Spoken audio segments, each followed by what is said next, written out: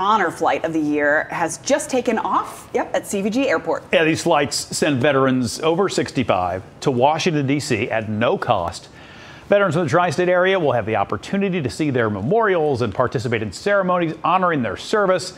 The next honor flight will be in May, and I keep telling myself that one of these days I am going to find my way onto one of those flights mm-hmm. because I, we've had other reporters who've had the opportunity to do that, and it they come back changed in a sure. sense, but just because you hear you hear so many stories and you you experience these these things and get to witness people experiencing these these moments, and especially as as some of our veterans get older and you know whole whole generations that remember certain things will be no more you know at some point it's it's just incredibly special and it's so special that these folks get the honor and the recognition that they deserve because some of them did not get that when they came Correct. back before. You, you, got a lot of people from Vietnam who are going now. Right, yeah. who get to go and um, you know you see them in tears and sharing the stories. It's incredible. So I'm glad that we are highlighting that as well, and we'll continue to do that. And every time we hear about a fundraiser, because I know a lot of times yes. they have fundraisers to raise money to make sure they can continue to do it. Anytime we hear anything like that, we of course will let you know. Yeah. Well, the Olympic torch is lit, and by lit, I don't mean that's lit. I mean it's actually on fire, and the countdown to the Summer Games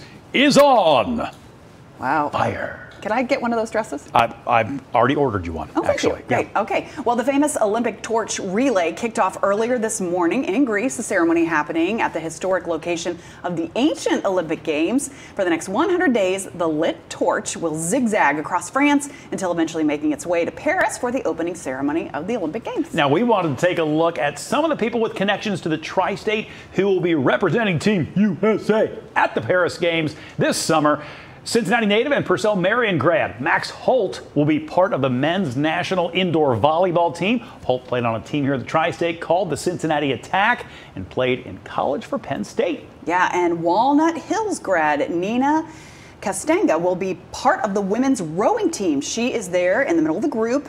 In this picture, Nina is the team's coxswain, and that's kind of like the captain of the boat. Sure, sure. Uh, Mariah Denigan was born in the Walton area, and she is an open water swimmer and will be representing the U.S. on the women's open water swimming team. Yep, and of course, we couldn't forget Cincinnati's most famous hmm. Olympian, Rose Lavelle, and the women's soccer team looking to bring home a fifth gold medal back to the Queen City. And there are others as well, but those are just a few that we're highlighting today. Can I tell you my quick Olympics story? Yeah. Um, before, and I, am sorry, guys, I'm gonna, I'm gonna, I'm gonna put us on hold here just for a second because I want I want to talk about this oh, sort of scene right here. Right now? Uh, I think that's actually almost like like a computer generated oh. hoodilly of the the torchlight. At least it looks like. Anyway, so so I was in Athens with my dad, late 90s. And I happened to be there, and we didn't know this at the time. I happened to be there with him right as they announced that Athens would be hosting the 2004 oh. Summer Games. And we are, so my dad and I are sitting at this tiny little cafe with the Acropolis in the distance. And all of a sudden, these fireworks Aww. just start going off behind the Acropolis because they made the announcement. We didn't know what was going on.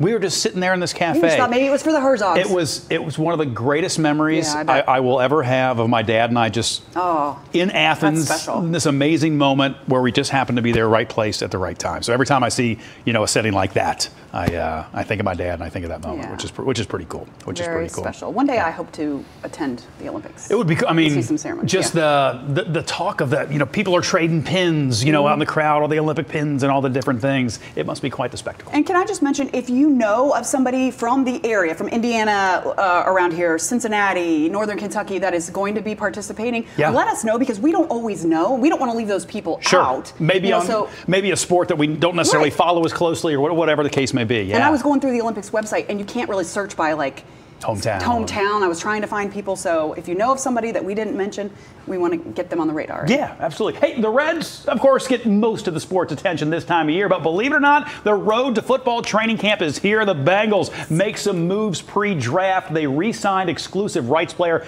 Cal Adomitis and unrestricted free agent Joe Bachie. Both got one-year contracts. The NFL draft is a week from Thursday. Today, the Bengals will host local football players at a pre-draft workout on field session is scheduled to begin. Gosh, I guess it was maybe started like six minutes ago. In fact, a big question still up in the air will Tee Higgins for sure suit up in stripes this season?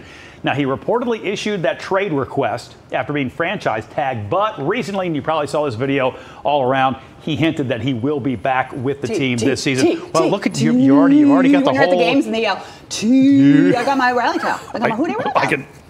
Can. What is it? Does, oh, That's Hootie. was that back there on the shelf? Yeah, it was back there on the shelf. I put it back We there. have so many things I on the know, shelf there's a that lot I, to I don't track even know what's I back contributed there. this. We got this at one of the games. Okay, well, that's- I'm that's ready. a- are you- are. You're- You know, I like my football. do. You just you made like a oh that was like a Tim Allen that was like a Tim Allen Home Improvement sound. Hmm, I'm excited. More power. Okay, here we go. All right, well, it's mid April, but it feels like June, which is why we want to know what are your favorite places to dine outdoors? yeah, Steven says, how about this one? The root beer stand, Reading Road. I got out there with my buddy Cliff. What was that last year or two years ago to do a story about Yep. the root beer stand? The big thing, the, the the the root beer that they make, it's made from well water. Well, the well they got out there that they filter, so it just tastes different. Just right. And Yeah. because you did that, I finally took my Did son you out out there? Yep, we went out last summer too. So good. Well, Martha says anywhere on the Loveland Bike Trail, Ramsey's, Bishops, Quarter, they are all great. I'll add one more because I just happened Yeah. to be out there over the weekend. Callie and I just decided to go out to the Loveland Bike Trail and take us a nice long walk, and we did. We'd never done that before out in that area. We went to the Wicked Pickle. Ooh, I've the heard good Wicked. Pickle. It's very chill, very Yeah. sort of Key West kind of relaxed, kick back. Good time, good time. Uh, Lori says the Hoosier Ice House in Lawrenceburg, blackened shrimp Caesar salad, and a Speedway Slammer. My summer go-to dinner. Laura, you have not only the place, but you have the, the, the menu items as well. That's that's well done. Yeah, that's well sounds played. good. And Wade says, love to grab some pizza and go to Cowan Lake outside of Wilmington. Good for the soul to watch the boats and the ducks. Do you like to get on the water? Do you live that lake life, or would you live that lake life? Uh, you know me in the water.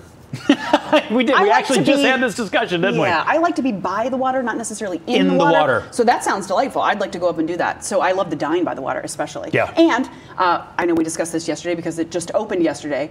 But Cabana on the River is one of my favorite places to go. Yeah. And dine outside. How do you do like on boats? Do you get seasick or do you Yeah, are get you okay? seasick. Really? Yeah, I get a little. I get a little. I can get a little funky. If it's like a pontoon, I love me a pontoon. oh Yeah, nice the- and slow. I, I was just saying I know we're not allowed to sing. Not allowed to sing. Yep. Never allowed to sing. Don't ever sing. But that's a good song and It's a great song. Sure, you could stop watching now, but let's be honest, you want to see more. So click some of those links, or better yet, go ahead and tap subscribe. That way you'll catch more content from Local 12.